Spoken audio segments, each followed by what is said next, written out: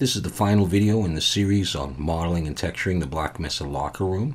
So this is the ninth video. I've done eight parts before this. In part one, I was walking around the woods, walking my dogs, and just talking about about this thing.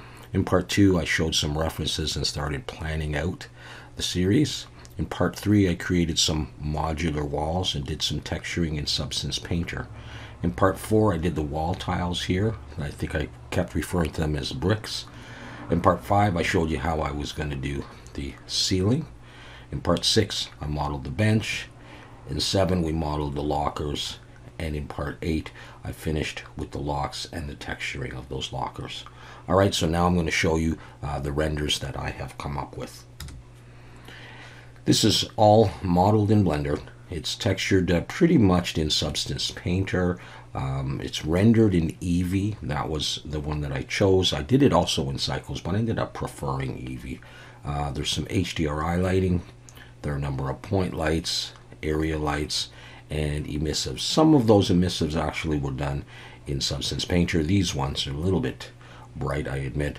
And these ones here were done in Blender. And there's point lights inside here. All right, so we have got the modular walls that we started with. We've got the tile floor. We've got the bricks. No, see, call them bricks again. The tiles. We've got the bench. There's a couple of other pieces here. We've got the indent in the wall. We've got the ceiling that I did, and then I just put those lights in there. Uh, we've got the lockers with the locks and the mesh here. I ended up changing the mesh, by the way, from the wireframe to actual uh, geometry. And uh, then I just went on and I did the back door uh, really quickly to finish this off on my own. So there isn't a video showing the modeling of the back door. Alright, so I'll just show you another couple of views. There aren't too many different things to look at. Here's just another one of the scene. And another one taken from one of those little alleyways or hallways looking back out the back door is, is right here. Right, and the last one is this one a little bit closer up showing the lock details and the bolts and stuff like that. So uh, that was um, a lot of fun. I really enjoyed modeling this and uh, I'm going to go on with another series and I'm going to show you what that is right now.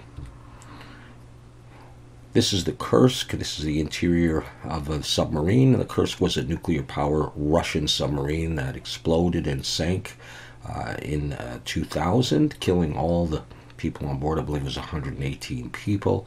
And uh, a computer game ha has been made about this, telling the, the telling the story and also having an element of intrigue and suspense and and stuff like that.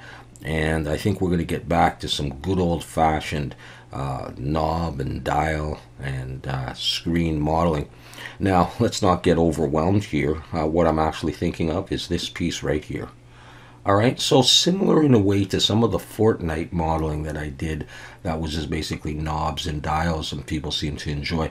I feel like making this console, we'll call it right here, with these four pieces. All right, so I've gone around and I've looked for various screenshots and I've saved a, a, number of screenshots of the game of other pieces of equipment too that I may do sometime or just draw some inspiration from.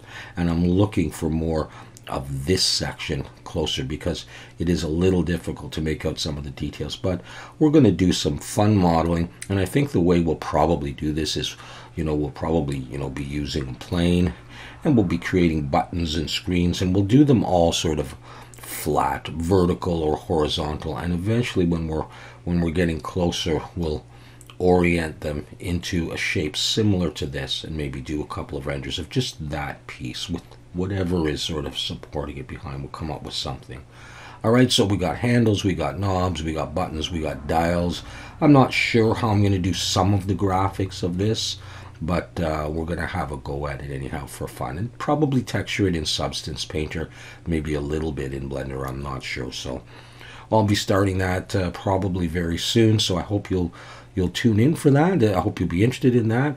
And of course, there's lots of other things that I have planned for you as well. So thanks for tuning in and thanks for persevering with me through the Black Mesa series. And take care. Talk to you soon.